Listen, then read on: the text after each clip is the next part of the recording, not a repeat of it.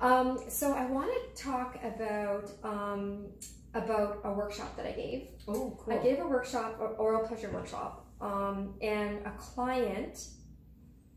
You know, you don't. You, often when I give these workshops, I, I I do reach out to people afterwards, but I don't always hear back from people, or Mm-hmm. I don't always get you know a message back on if this worked or if that didn't work. I wish people would c- come back and tell me a little bit more, actually, yeah. so that I can add more pleasure. You know, change things up Taylor.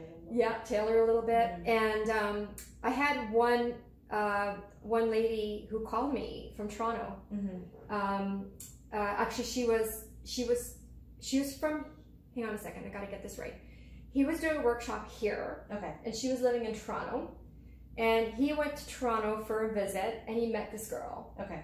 and they had sex after a couple dates they had sex and it was amazing sex. Like it was just mm. it was or the oral sex that he gave was unbelievable. It was just so much fun. He knew exactly what to do. He took his time.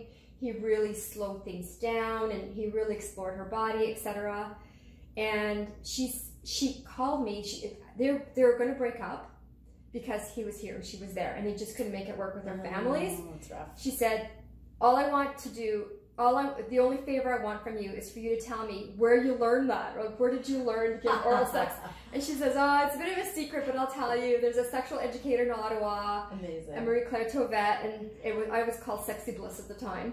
And um, and she taught the, these courses, and she she called me, and I started doing Skype lessons with her So on how to give awesome. oral pleasure for him. Ha, that's so awesome. So that's really fun because on her dates, we stayed in touch and she Mhm. practiced the oral pleasure that I was teaching her. And she said, It's so much fun. People are telling me that I'm good at it. Huh. And, and that's great. Like, yeah. I want you to know that sex is something you learn. Mm-hmm. Where do you learn? You don't learn from porn. You need to learn from somewhere how to pleasure your partner. And it's really good to try to explore and figure that out. Yeah.